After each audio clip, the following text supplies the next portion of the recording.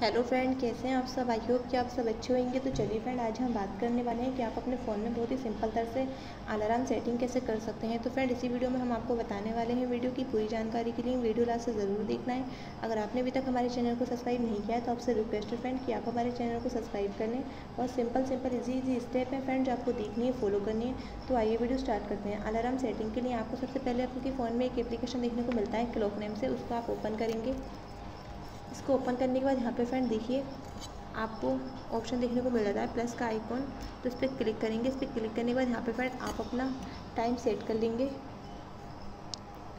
Time set करने के बाद यहाँ से फ्रेंड आप अपने मिनट सेट कर लेंगे। उसके बाद यहाँ से फ्रेंड आप अपना ए एम या पी एम सेट कर लेंगे।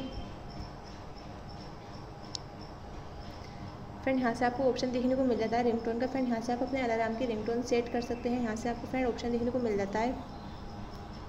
रिपोर्ट का तो फ्रेंड यहाँ से आपको ऑप्शन देखने को मिलता है डेली पे।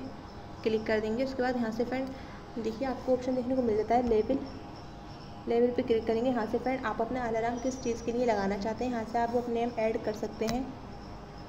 नाम ऐड करके यहाँ से आपको ओके का ऑप्शन देखने को मिल जाता है ओके पे क्लिक कर देंगे फ्रेंड यहाँ से फ्रेंड आपको ऑप्शन देखने को मिल जाता है, इस पर क्लिक करेंगे। इस पर क्लिक करने के बाद यहाँ से फ्रेंड इसको ऑन कर देंगे।